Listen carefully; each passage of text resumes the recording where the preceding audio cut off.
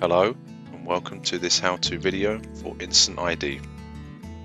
In this video I will be demonstrating how to use the database cleaner utility to reduce the size of your truecredential.h2.db file which is used by Instant ID. If this file is left to grow significantly in size, it has the potential to affect the performance of Instant ID. The Database Cleaner utility reduces the size of this file and improves performance of Instant ID. The utility comes in a zip folder. Once the contents are extracted, it is strongly recommended to review the README file before using the utility. The utility consists of a class file and two batch files. The manual batch file is used for manual operation of the utility. The other batch file can be scheduled as a Windows task. The utility reduces the size of the truecredential.h2.db file by deleting data from the following tables, as well as removing white space. The Database Cleaner utility can be used with the following TrueCredential and Instant ID versions there are also some important notes highlighted. It is critically important that the utility be executed by a Windows user account that has administrator permissions, and the utility be run by right-clicking and choosing Run as Administrator.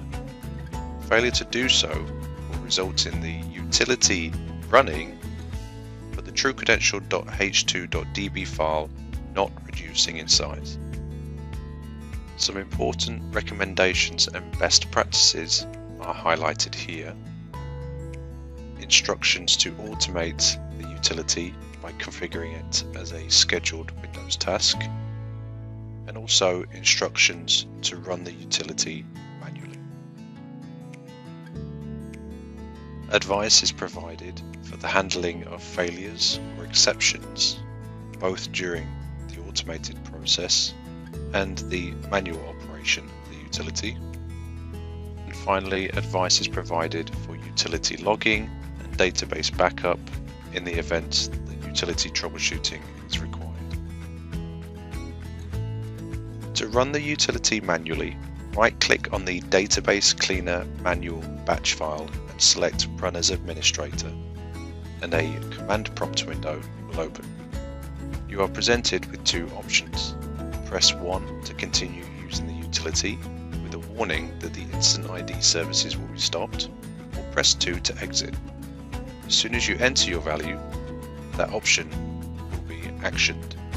I pressed 1 and the utility is now stopping the Instant ID services and it's creating a backup of my current truecredential.h2.db file, which is located here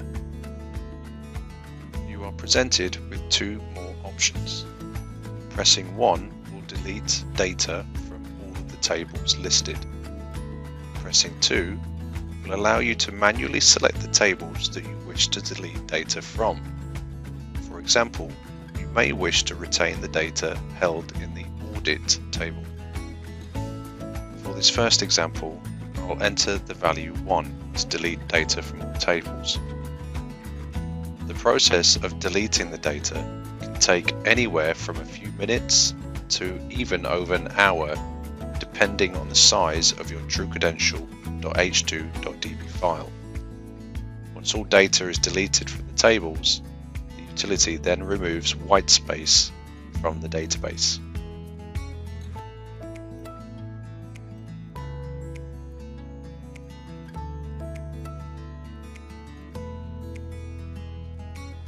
Once the process is complete, you are presented with two more options. Press 1 to restore your original database in case of any exceptions or failures during the cleanup process, or press 2 to exit. The utility then restarts the Instant ID services, which can take up to a couple of minutes to complete. I have speeded up this process for the purposes of this video. Once the services have restarted, you should notice that your truecredential.h2.db file has reduced in size.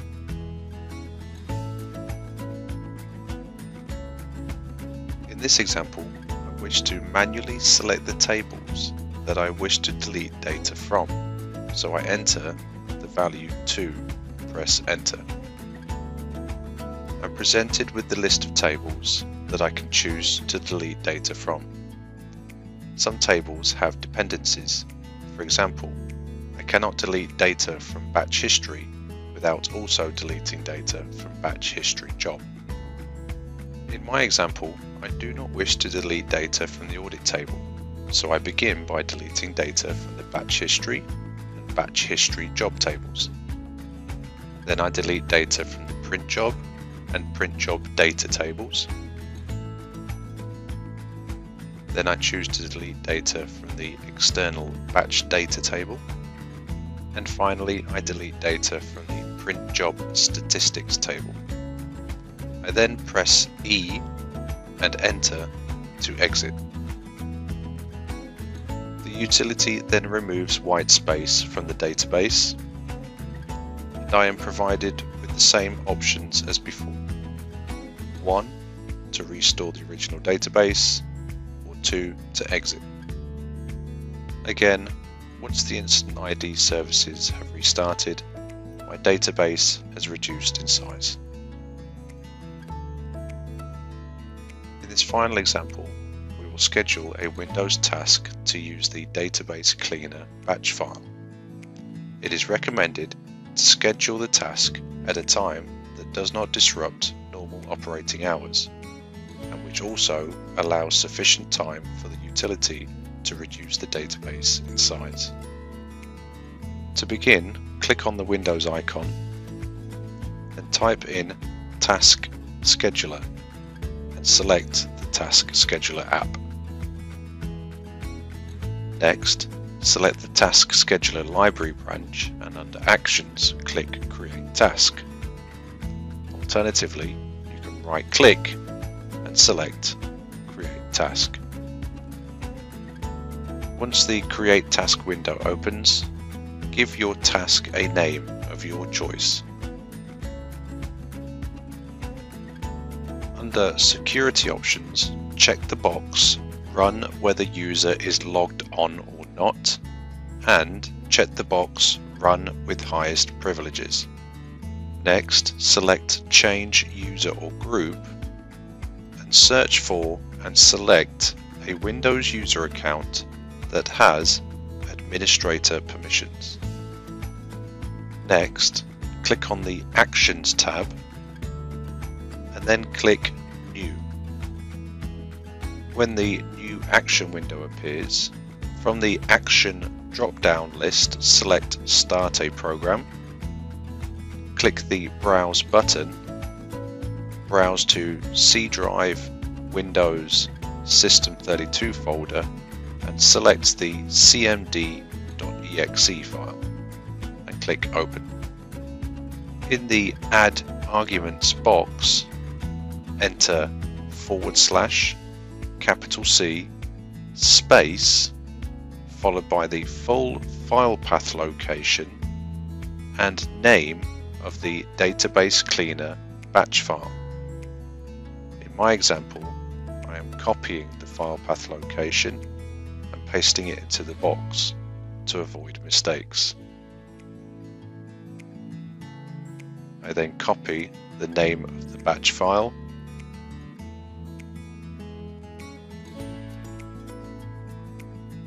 and paste it into the box after entering a backslash after the end of the file path location. In the Start In box, enter the full file path location of the database cleaner batch file.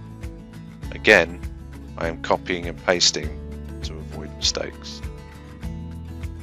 Once complete, click OK, click on the Conditions tab and check the box Wake the computer to run this task. Then click on the Triggers tab and click. When the new trigger window appears, under the Begin the Task drop-down list, select on a schedule, check the box Weekly, and select the date and time at which you wish the utility to be run for the first time. Then select the day you wish the task to be run each week.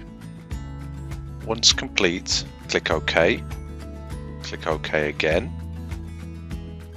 You are prompted to enter the password for the Windows user account configured to run the task.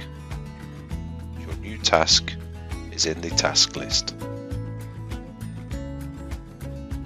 When the scheduled task begins, the utility runs in the background. No command prompt window is displayed. As you can see here, a backup of the database is created. On the right hand side is the current database. The utility deletes data from the tables and removes whitespace. Once complete, the Instant ID services are restarted and the database is reduced in size. Again, the process has been speeded up for the purposes of the video. For any issues encountered during use of the cleanup utility, please refer to the README file.